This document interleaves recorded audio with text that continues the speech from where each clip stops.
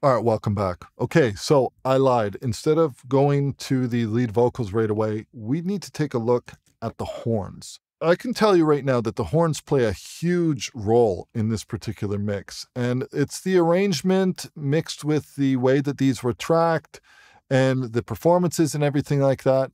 So we did ourselves a favor and we printed ourselves a, a reference in terms of the horns.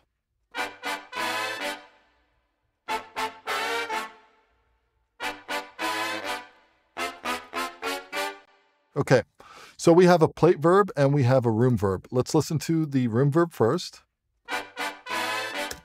Also keep in mind what we did in the last video. If I want to duplicate this, I can just basically drag and drop an instance of this room reverb, and then I can just basically flip and drag this over. Now this is a stereo print, so we're gonna go minus 180, that's going to flip us around from back to right. And then our spread is going to be minus 100.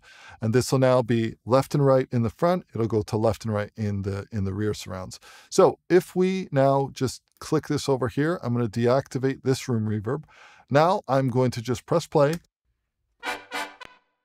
I'm actually hearing that behind me now, which is exactly what I wanted to do in this particular case. If I wanted to increase this,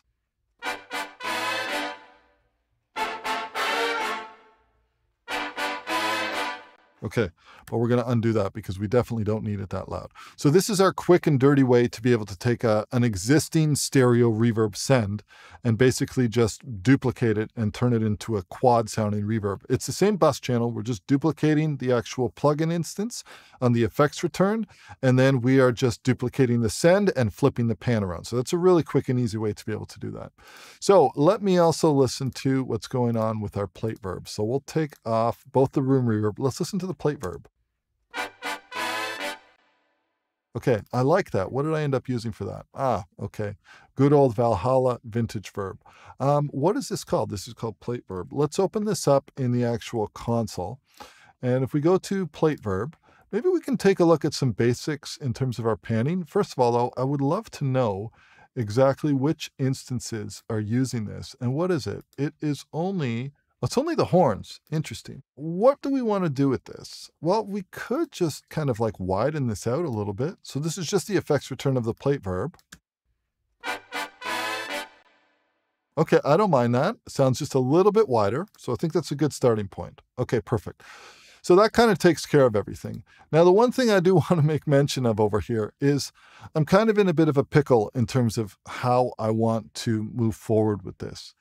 Because we have so many different horns that it would be amazing to turn these into like spatial objects or to do discrete panning on all of these. But I can tell you that there are a lot of back and forth went on with the client in order to get the horns sounding the way that they did.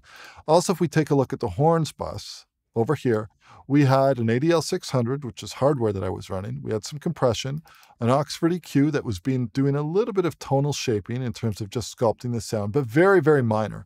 Take a look at this. You know, we got a low cut at 20. Arguably, that's not doing anything.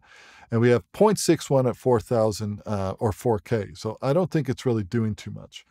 But if we take a look at what else is happening over here, uh, this was just noise reduction. The only reason that that was on is because that ADL 600 is very noisy.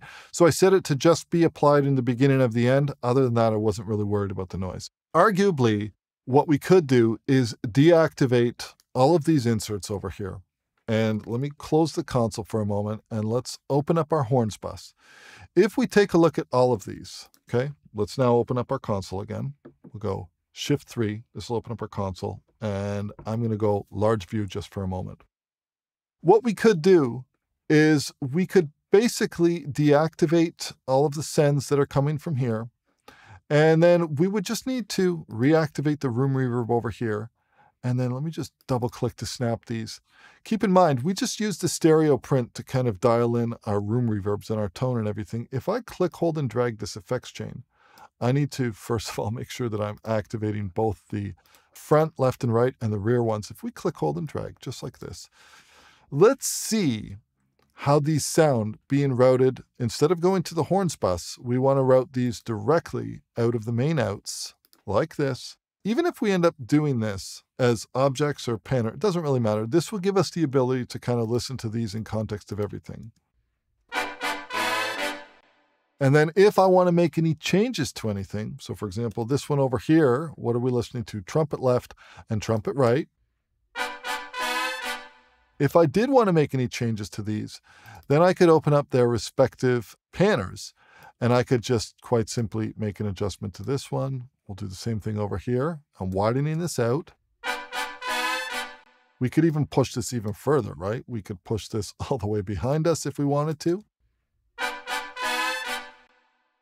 So we have to kind of really think about what we want to do in this context. But at the end of the day, there's a bunch of different ways that we can work with this. Another option would be, let me undo those panning changes I made. Let's bring everything back to the way it was. And let's also click undo one more time. And we're going to leave these as going to the actual horns bus. In this case, though, what I want to do is instead of the horns bus being actually stereo, maybe the horns bus could be a 7.1.4 bus. And if we change the horns bus to a 7.1.4 bus, then we could basically, let's do this, let's get rid of both of these. I'm going to drag and drop the effects chain exactly as it is like this.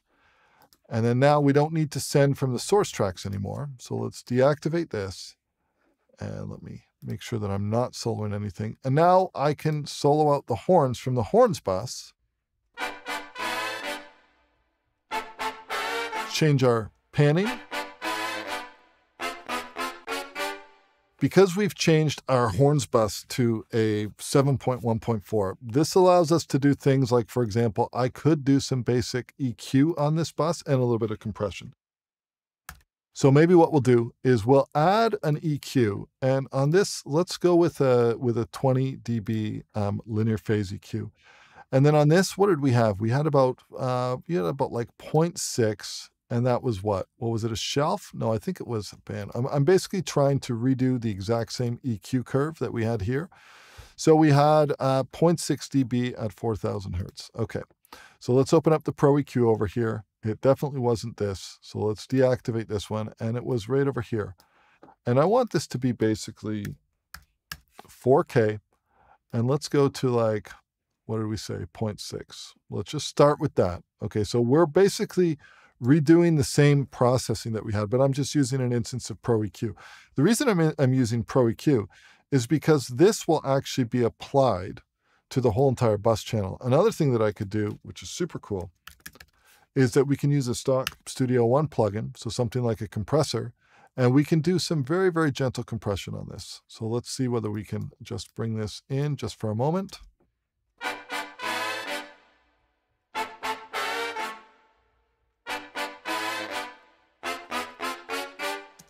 Okay, we'll do that one more time.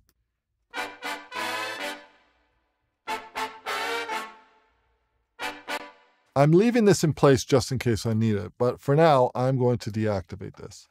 Now, the only other thing that we need to do is make sure that we're not doubling up on our horns, so we will temporarily just mute the stereo print. The benefit of doing this in line here in Studio One is that if I do want to make any changes to these horns, like if I wanted to take these trumpets or anything like that,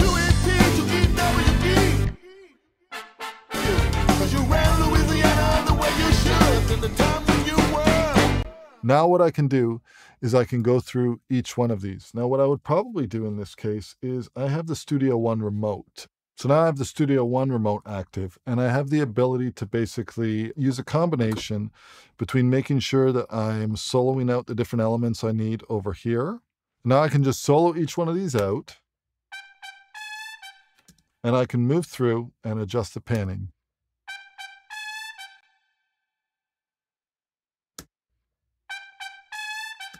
Now, as I'm adjusting the panning, I'm hearing things kind of like fan out a little bit.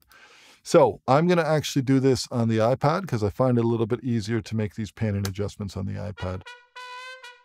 And I like doing them in context with everything.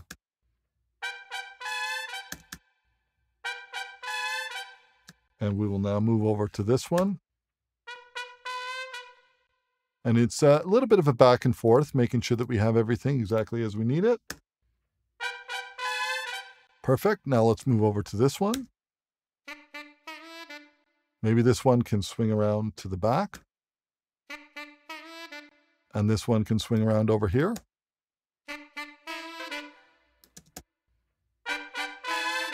Okay, I'm happy with that. Now let's bring in these other ones. We have bones.